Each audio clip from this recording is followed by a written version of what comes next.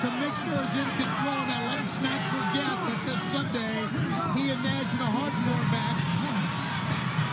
Huge stipulations, Huge Tony. stipulations, you're right, as the Chevy match goes on. Oh, see, I'm telling you, Jarrett, it's not fair for this guy. He's being triple teamed, double teamed, everything. Ted Washington of the Bills has come up on the apron as the strip has been put on. Larry Zbyszko up on the other side of the ring. Look at the